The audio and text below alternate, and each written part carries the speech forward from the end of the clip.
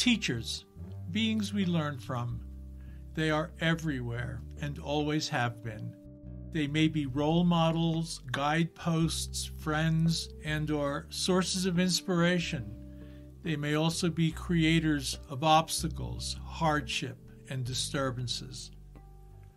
Regardless of the form they take or the amount of time they spend in our lives, we frequently take them for granted, like or dislike them, accept or dismiss them, and then move on when they're gone. But the effects they've had on us, the lessons beyond the barriers to which they've led and then pushed us through, remain with us, stepping stones on the paths of our lives.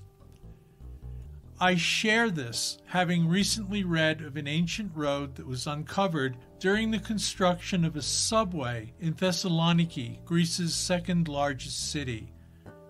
The marble paved road was built by the Romans as the city's main artery of travel 2,000 years ago.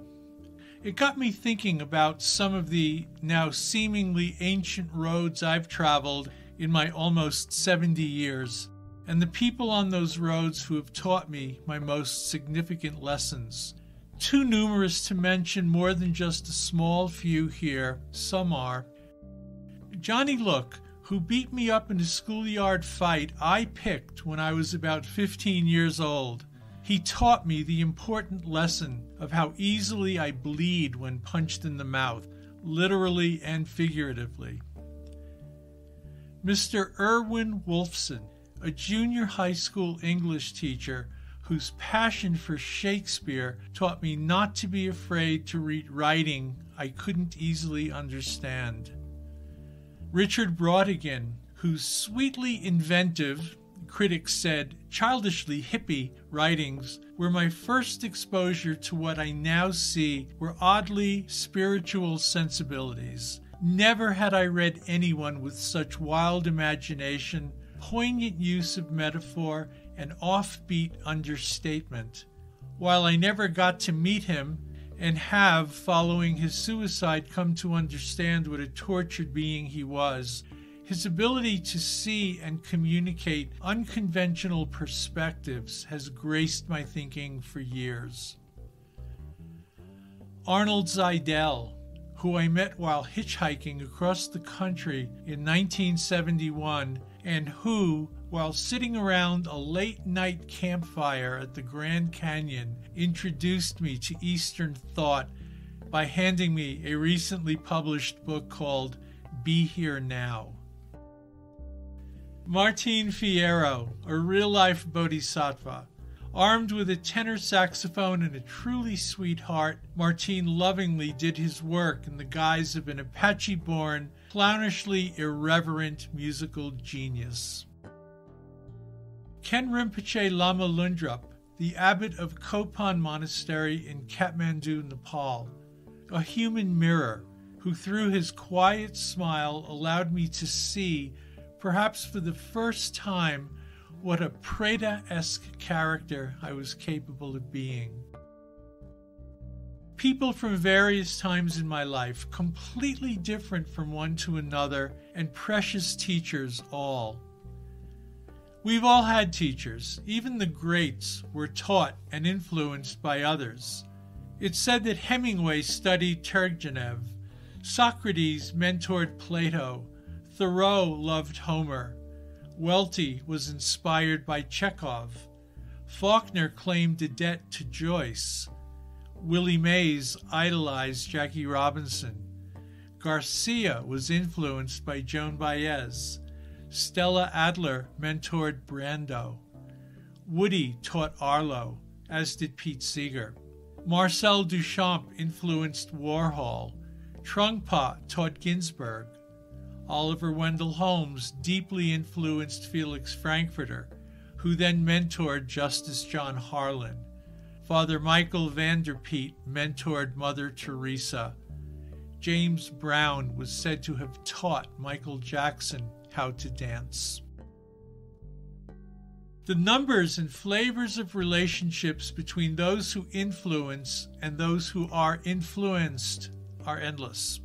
In the Buddhist systems, where teachers are identified and deeply appreciated, my eyes and ears have been opened widely by the teachings of Siddhartha, Thubten Geshe, Chogyam Trungpa, Shantideva, Dilgo Khyentse, Kalu Rinpoche, Nagarjuna, and Tsongkhapa, to name just a few. And of course, humanity's current professor, His Holiness the 14th Dalai Lama of Tibet.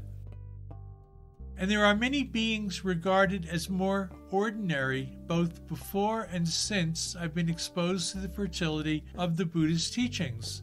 I can now see them all as my teachers, presenting opportunities for me, sometimes forcibly against my stubbornness, to learn and grow. They've been of all sizes, ages, colors, faiths, political persuasions, sensibilities, and inclinations. They include humans, animals, insects, all teachers, and of course, inanimate objects as well.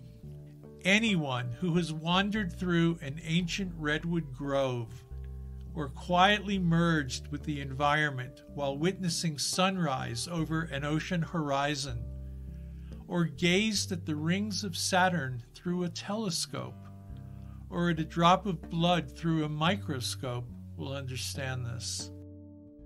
This perspective, the recognition of all these people and things as teachers, has taken me years to see and with understanding acknowledge.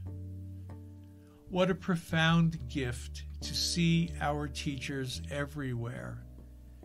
It is endlessly rich and paves the way for true humility appreciation, and gratitude while keeping us open to absorb and learn from everyone and everything whose path I cross. This may be true for you also, so I leave you with a suggested perspective to explore. If you're one who's inclined to be listening to this, I suspect it will not be a waste of time. Look at all the people in your life from years ago and those who are present now. Include those very close to you and ones not so close. Include friends and enemies and those who are in between, the neutrals.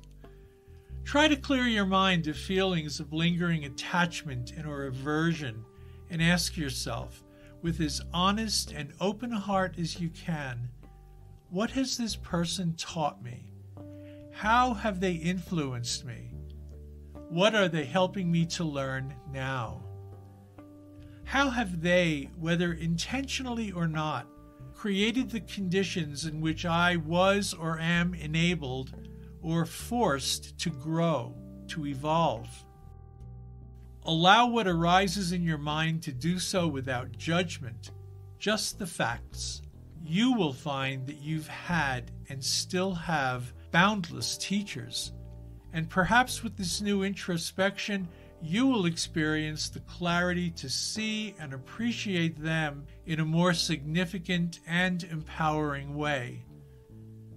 Empowering because it is quite possible this appreciation will lead to humility and then to gratitude, and that gratitude will become a wish to settle any long standing debts, to balance the ledger to repay them for all they've led you to learn. This payment won't be with money or material goods, but rather with the very thing their teachings have led you to your very best self. By becoming, with the best interests of others in mind, a more mindfully beneficial and well meaning influence on all whom you encounter. In this way, you'll become an increasingly conscious teacher yourself, a role that, when honestly embodied, will be quite comfortable and feel intuitively right, and you will, therefore, do it very well. This recording, Teachers Are Everywhere, was written and shared here by Mark Winwood. Mark, that's me is an adjunct instructor of meditation psychology at Naropa University in Boulder, Colorado, and the founder of the Chenrezig Project, a Tibetan Buddhist study and practice group currently resident in Colorado and with a national online presence. You can learn more about the Chenrezig Project at www.chenrezigproject.org. That's C H E N R E Z I G project.org. Our accompanying music, titled Because, was composed and performed by our collaborator, the San Francisco Bay Area musician Bobby Vega.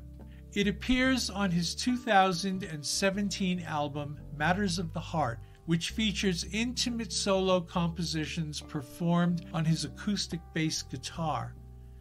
You can learn more about Bobby and his music at his website, www.bobbyvega.com. That's B O B B Y V E G A.com or as he's very findable online, you can simply Google his name or look for his numerous videos on YouTube. We remain grateful to Bobby for his friendship, his talents, and his generosity in sharing his beautiful music with our Dharma audience. Please feel free to share the link to this podcast with those you feel it might resonate including those you consider to be your teachers. And as always, thank you for listening.